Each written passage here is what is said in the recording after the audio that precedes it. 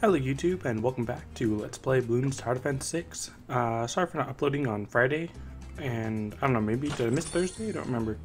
Um, but I was a little busy and whatnot. Oh, okay, great. Um, I was kind of hoping this would be a short one, um, because I wasn't really sure how much time I had to uh, actually record an episode today. So, hmm. Uh, I guess I'll, yeah, put it here because uh, whenever I'm trying to place a, a Monkey Apprentice, uh, especially if it's the first one I'm going to place, I generally want to use it as a Shimmer Monkey and put it near the beginning of the map. However, is this fast forward? No, yeah, okay. Um, however, I feel like I probably need it to be here so that it's actually able to pop everything. Um, let's see.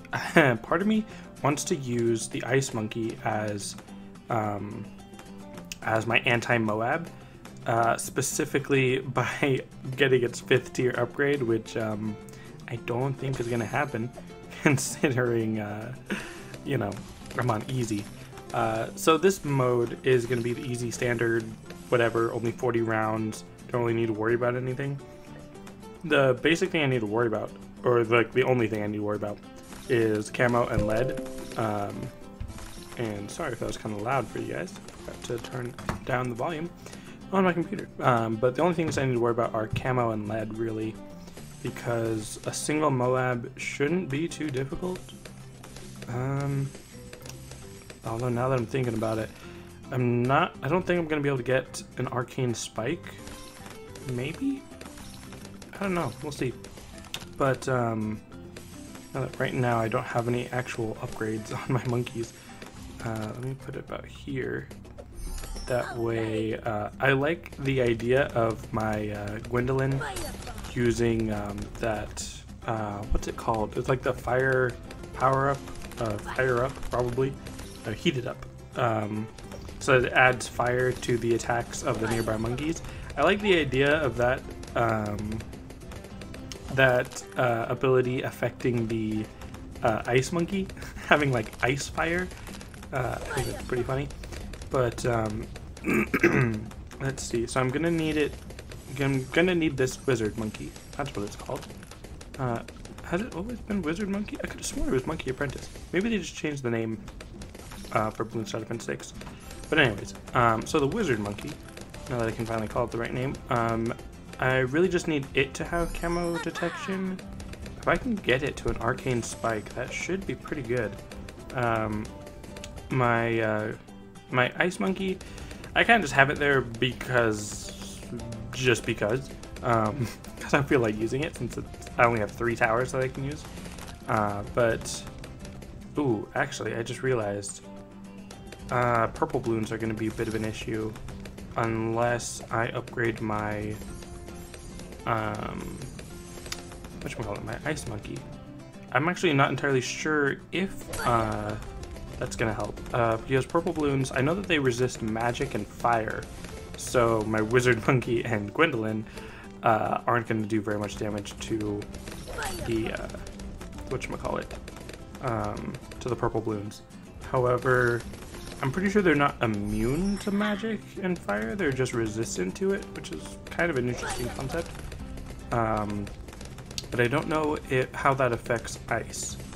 Uh, so that'll be interesting pretty sure if I give it the cryo cannon, I should be okay. Um, hmm. also, arcane blast and arcane mastery. There we go. Now it's going to be much better.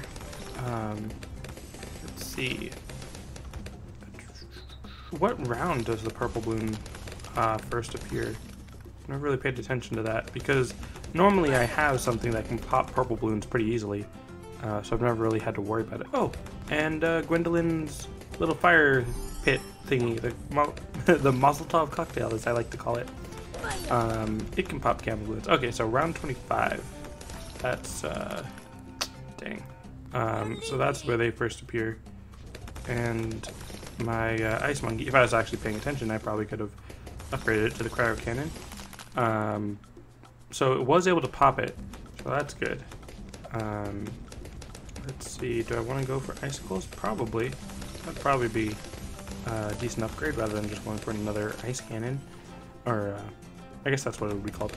Um, also, I know that for the Ice Monkey, their top path is what allows them to pop lead, even though they normally can pop regular balloons, which, if I think, er, I think, if I'm correct, that's what it is. Um, but adding the fire from Gwendolyn uh, actually helps them uh, pop the lead anyways, which I think is pretty cool. And then I'm pretty sure, yeah, I guess that would make sense. The uh, fire can pop uh, zebra balloons, or also black balloons, I believe, if, if that works the way I'm thinking, uh, because it's not specifically explosions, they're just fire, which uh, is kind of an interesting distinction to make.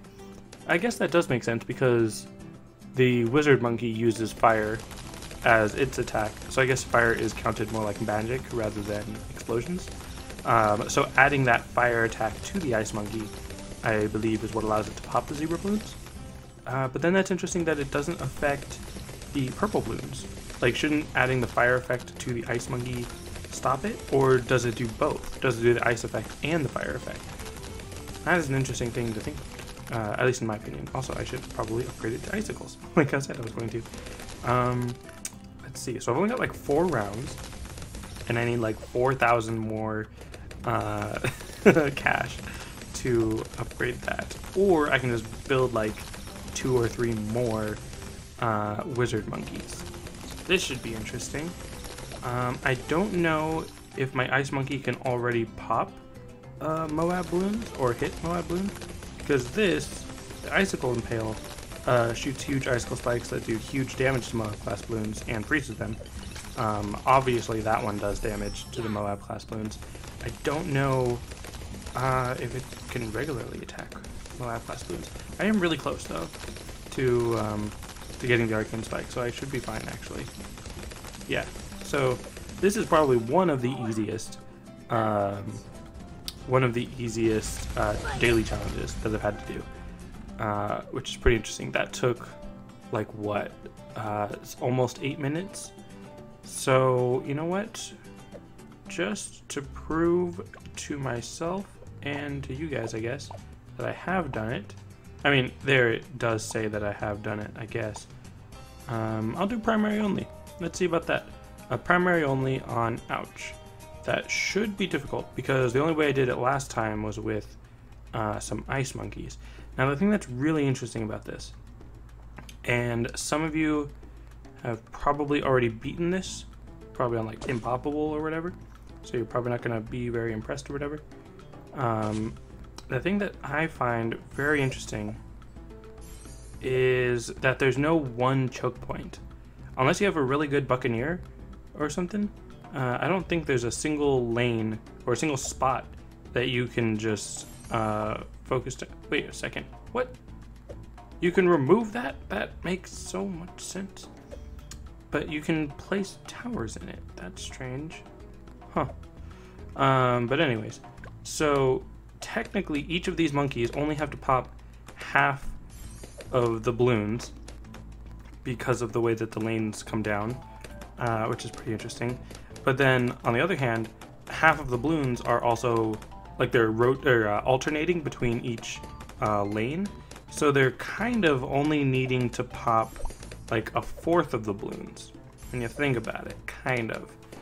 Um, so they should be okay for the most part. I'm gonna leak a couple balloons, obviously. Um, but yeah, th this is a very interesting uh, track because uh, obviously it's one of the harder ones. I mean, the hardest one. Uh, personally, I think this one's harder than the previous one. I don't know if that's like common um, common opinion or whatever, but uh, this one I feel like it's easier because it is just two different choke points essentially that I have to worry about. Um, and I probably should have used tack towers, maybe? I don't know. Um, let's see.